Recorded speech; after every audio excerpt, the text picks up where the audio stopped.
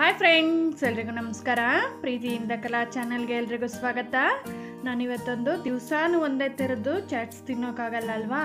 ಹಾಗಾಗಿ ಇವಾಗ ಚಳಿಗೆ ಅಥವಾ ಮಳೆಗಾಲಕ್ಕೆ ಸಂಜೆ ಟೀ ಟೈಮ್ಗೆ ಏನಾದರೂ ಸ್ನ್ಯಾಕ್ಸ್ ಬೇಕು ಅನಿಸುತ್ತೆ, ಅದು ಸಹ ಮನೆಯಲ್ಲೇ ಆರೋಗ್ಯಕರವಾಗಿ ಮಾಡ್ಕೋಬೇಕು ಅನಿಸುತ್ತೆ. ಹಾಗಾಗಿ ಅದನ್ನು ನಾನು ಇವತ್ತೊಂದು ರೈಸ್ ಪಾಪಡಿಂದ ಅಂದರೆ ಅಕ್ಕಿ ಹಪ್ಪಳದಿಂದ ಮಾಡ್ತಕ್ಕಂಥ ತುಂಬ ಟೇಸ್ಟಿಯಾಗಿರುತ್ತೆ ಬಹು ಬೇಗನೆ ಆಗುತ್ತೆ. ಹಾಗಾಗಿ ಅದನ್ನು ಮಾಡೋದು ಹೇಗೆ ಅನ್ನೋದನ್ನು ತೋರಿಸ್ತೀನಿ.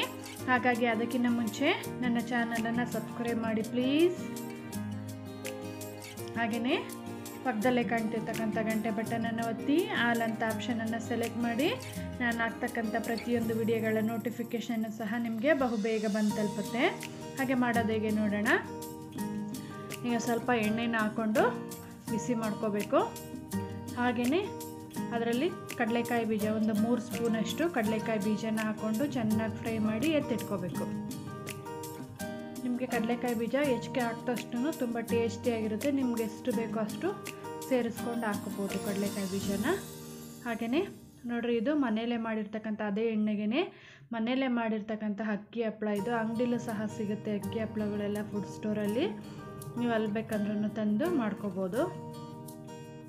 ಹಾಗೆಯೇ ನೋಡಿರಿ ಹಪ್ಪಳನ ಎಣ್ಣೆಲಿ ಡೀಪ್ ಫ್ರೈ ಮಾಡಿ ಎರಡು ಕಡೆನೇ ಚೆನ್ನಾಗಿ ಫ್ರೈ ಮಾಡಿ ಎತ್ತಿಟ್ಕೋಬೇಕು.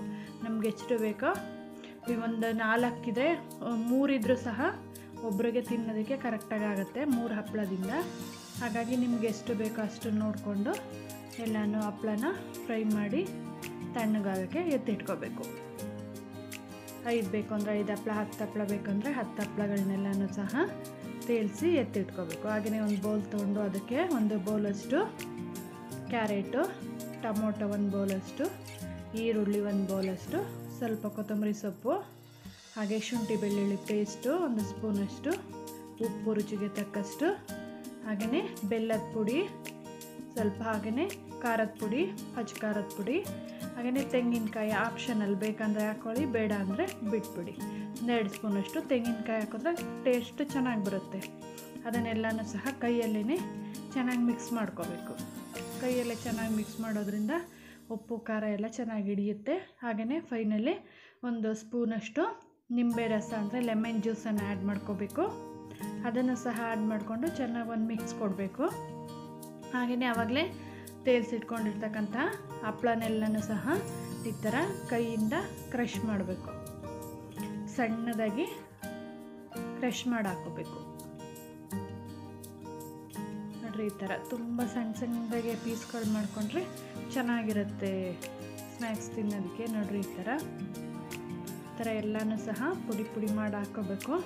ಹಾಗೆ ಅದಕ್ಕೆ ಹುರಿದಿಟ್ಕೊಂಡಿದ್ವಲ್ಲ ಆವಾಗಲೇ ತೇಲ್ಸಿಟ್ಕೊಂಡಿದ್ವಲ್ಲ ಕಡಲೆಕಾಯಿ ಬೀಜ ಅದನ್ನು ಸೇರಿಸ್ಕೊಂಡು ಹಾಗೆಯೇ ಮುರಿದಿಟ್ಕೊಂಡಿರ್ತಕ್ಕಂಥ ಎಲ್ಲ ಹಪ್ಪಳನೂ ಸಹ ಅದರೊಟ್ಟಿಗೆ ಸೇರಿಸ್ಕೊಂಡು ಚೆನ್ನಾಗಿ ಒಂದೊಳ್ಳೆ ಮಿಕ್ಸ್ ಕೊಡಬೇಕು.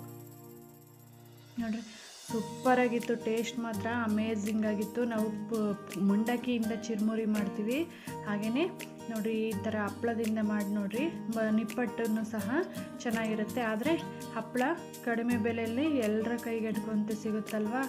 ಆದ್ರಿಂದನೇ ಹಪ್ಪಳದಿಂದನೂ ಸಹ ಟ್ರೈ ಮಾಡಿ ನೋಡಿ ಒಂದು ಸಾರಿ ಬರೀ ನಿಪ್ಪಟ್ಟಿಂದನೇ ತಿಂದಿರ್ತೀರ? ಹಪ್ಪಳದಿಂದ ಮಾಡಿ ನೋಡಿರಿ, ತುಂಬ ಟೇಸ್ಟಾಗಿರುತ್ತೆ ಹಾಗಾಗಿ ಎಲ್ಲರೂ ಸಹ ಒಂದು ಸರಿ ಟ್ರೈ ಮಾಡಿ ಹೇಗಾಗಿತ್ತು ಅನ್ನೋದನ್ನು ತಿಳಿಸಿ, ಹಾಗೆ ನಿಮ್ಮ ಫ್ರೆಂಡ್ಸ್ ಆ್ಯಂಡ್ ಫ್ಯಾಮಿಲಿಗೆ ಶೇರ್ ಮಾಡಿ. Thanks for watching